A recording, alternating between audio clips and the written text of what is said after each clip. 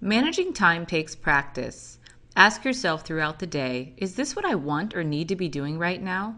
If yes, then keep doing it. Realistically and practically analyze your time. Do it for a week and review your results.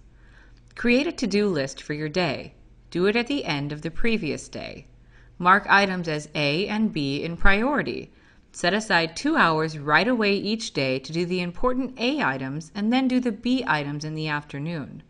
During your A time, let your calls go to voicemail, emails, texts, and updates wait so you can focus uninterrupted.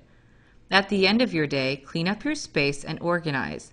That'll give you a clean start for the next day. Learn the difference between where can I help and where am I really needed. Experienced leaders learn that the last question is more important than the former. Delegate.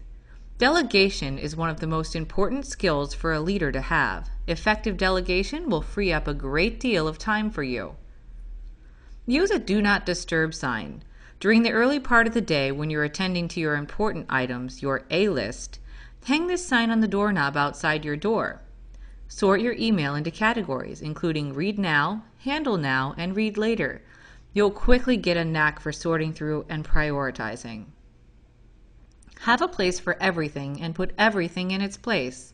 That way you'll know where to find it when you need it. Another important outcome is that your people will see that you are somewhat organized rather than out of control. Schedule 10 minutes a day to do nothing.